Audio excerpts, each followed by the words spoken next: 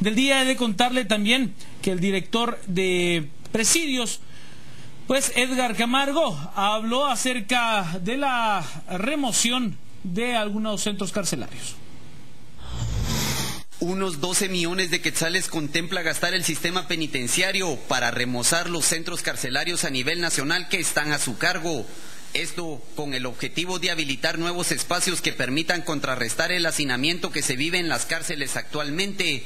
Así lo dio a conocer el director del sistema carcelario, Edgar Camargo. El remozamiento de los centros, eso se va por compra normal, ¿verdad? Eh, hay un plan de deshacinamiento donde tenemos nosotros ya algunos espacios específicos que tenemos que remozar para poder tener eh, eh, privados de libertad dentro de los mismos, lógicamente con las características que tienen que prestar la seguridad correspondiente.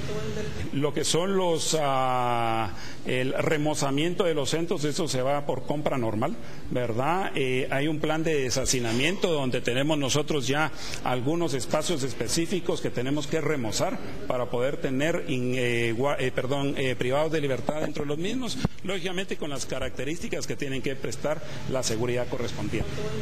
estamos hablando con todo, no solo los cuatro centros, sino que a nivel nacional, con todo lo que son las remozaciones de lo que es la electricidad, agua potable y pozos, alrededor de 12 millones.